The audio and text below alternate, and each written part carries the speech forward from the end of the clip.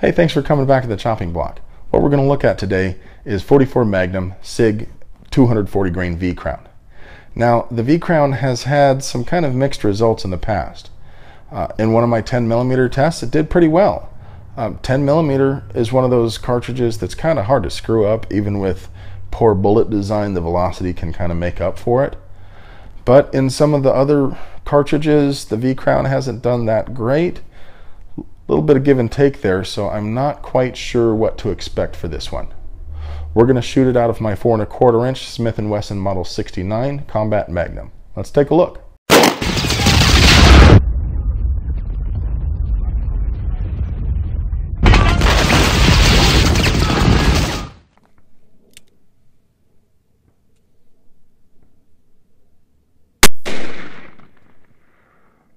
One three one one.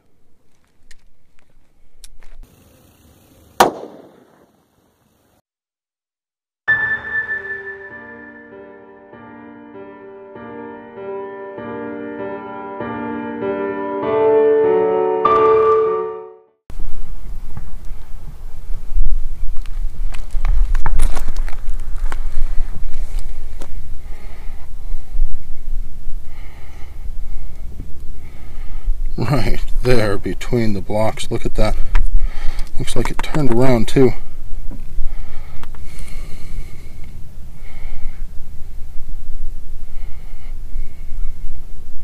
That's beautiful.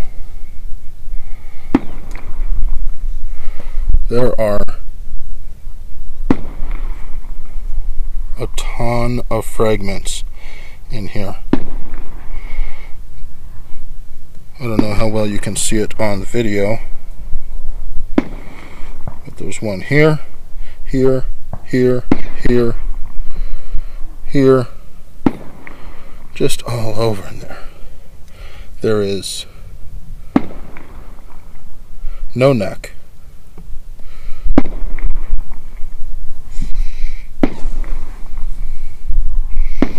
And of course, block 16 inches long, so the penetration is roughly 16 inches. So you can see essentially no neck. What amounts to,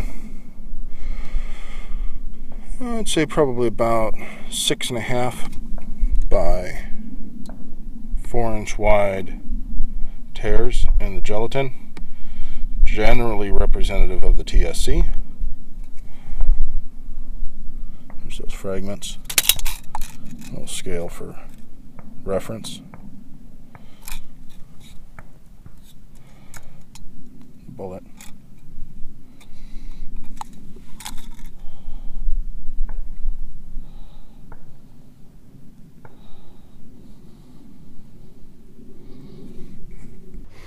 All right, well, it looks like it came through. Did outstanding. Perfect weight retention, excellent expansion. It expanded early, fast, big, lots of TSC. And of course, the penetration was right in line with what you would like to see from a 240 grain moving along at a decent 44 mag velocity. Even if V Crown hasn't done perfectly in other calibers, it did great here. Uh, no, I did not shoot it with heavy clothing, but generally speaking, 44 Magnum is more of a hunting slash woods defense load than a city personal defense. So I thought it was more appropriate to do it with the bare gel.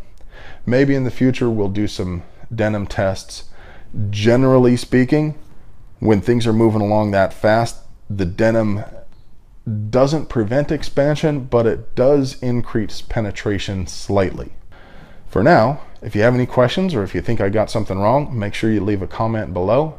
I appreciate all of your support. The comments, likes, subscribe, all of that stuff makes a big difference for ch small channels like mine. Thanks for watching. I hope you enjoyed the video. Have a great day.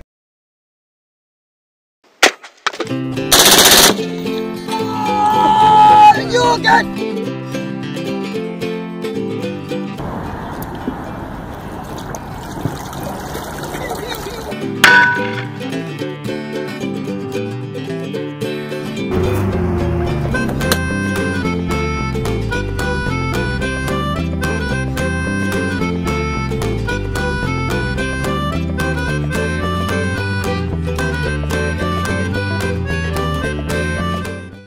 thanks again for watching. If you haven't seen already, I've been doing some testing for TFB TV's YouTube channel also. Now, I won't be abandoning my own channel, but I will be adding content over there from time to time, including a much more detailed test of this ammunition.